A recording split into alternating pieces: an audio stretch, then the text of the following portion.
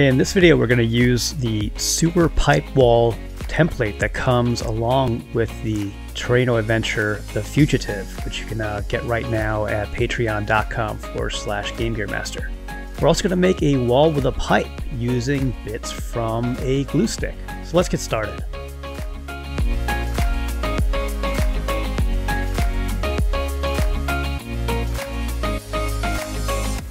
First thing we're going to look at is making the sewer pipe walls. That's actually uh, part of the printouts that come along with the Terraino Adventure The Fugitive. And you can also see here you get some textures to use uh, for other areas of your build. Just start by gluing the uh, template for the sewer pipe wall onto some cardboard, just like you would for any other template. And kind of set that aside to dry. And then cut out, kind of rough cut out the uh, the bits, the front and back for the sewer grates. And for this, I definitely recommend using Titebond Original Wood Glue to glue this onto the cardboard because you want to make sure that this is very well attached to the cardboard. You put on one side of the grating texture.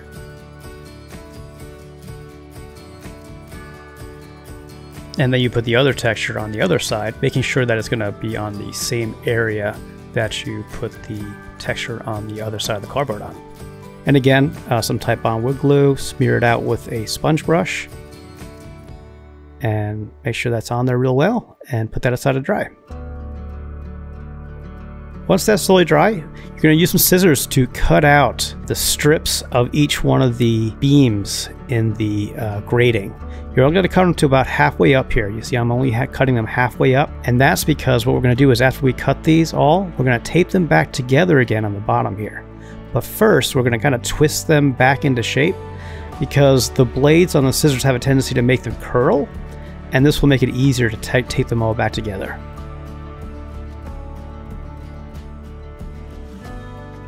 And we're going to tape them back together with some masking tape.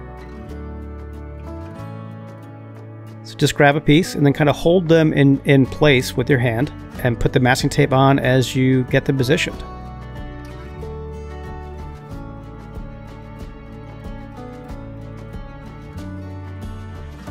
And you could do that for the entire end there.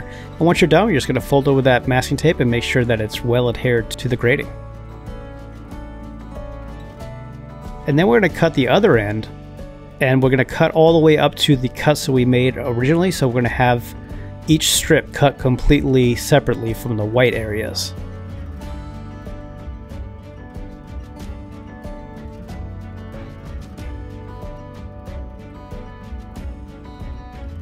And then when we're finished cutting these, we're going to do the same thing. We're going to twist them back into shape. And then we're going to use masking tape to tape them back together on the this side as well. Just holding it down with your fingers, making sure the position's good. Adding masking tape as you go. And then fold it over to make sure that that's holding all those pieces together really well.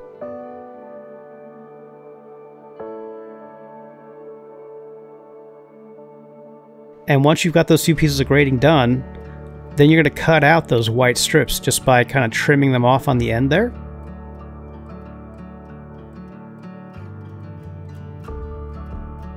And once you have those two pieces done, you're just going to glue them together using a glue stick. You want to make sure there's a good amount of glue on there that it's really adhering well. There you go. Just put that aside to dry. And while that's drying, we can start making the pieces for the wall itself. You're going to need two exterior pieces that are pre-textured. And then just cut out that middle bit there.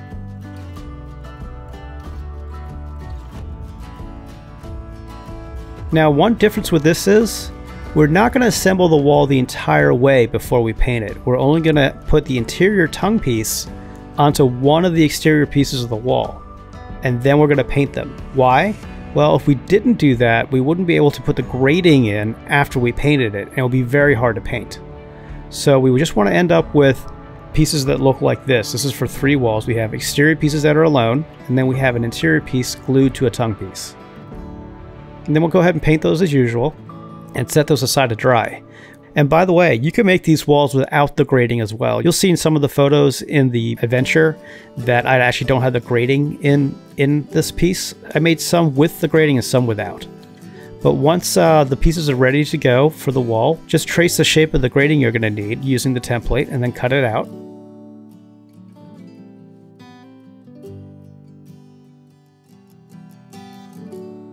And just put it into the wall and then glue the wall together.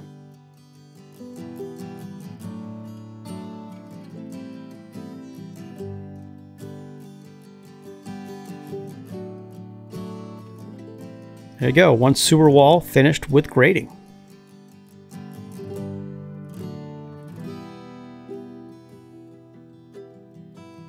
Next, it's time to make the single height grating pieces. These are kind of more of a decoration than a full wall. They're just the bottom part of the sewer pipe wall, and just trace them onto pre-textured foam like I'm doing here. And then you're also going to trace on some of the interior pieces to untextured foam and then you just cut them out as usual and glue them together.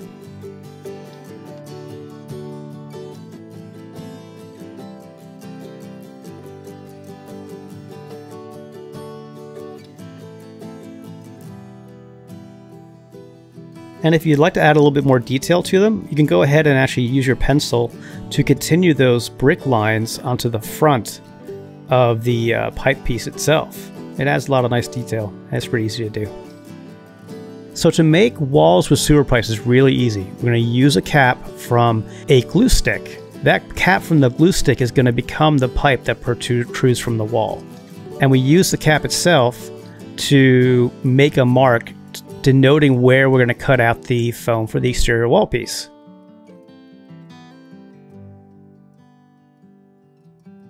And it's going to sit in there like that.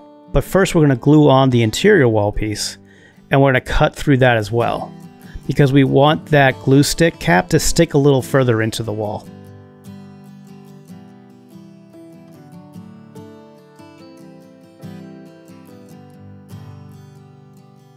And once you've got that positioned, we're going to go ahead and glue on the other exterior wall piece.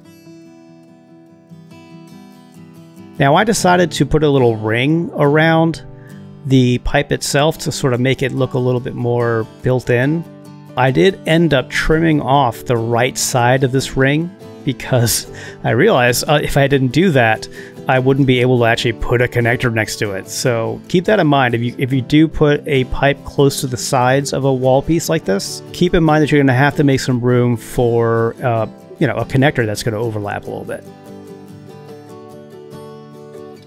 And then I just kind of added some brickwork to that ring that I made and a little bit of foil to give it some stone texture and a little bit of randomness. And that's pretty much it. And then you just paint it in quick coat like you normally would. Just want to say a big thank you to the supporters on Patreon, uh, especially our architects, Brian Yao, William Dellinger, and Don Soul X. Apologies if I mispronounced your names. Become a patron today, and you will get this adventure as part of your Master Craftspersons or Architects membership. Uh, so go to patreon.com forward slash Game Gear Master. So if you haven't already, you can get started right now on your Terraino journey by downloading the Terraino construction manuals at GameGearMaster.com. They are consistently rated 5 stars and come with a 14-day hassle-free money-back guarantee. That means if Terraino's not for you, no problem, you'll get your money back, no questions asked. Happy crafting!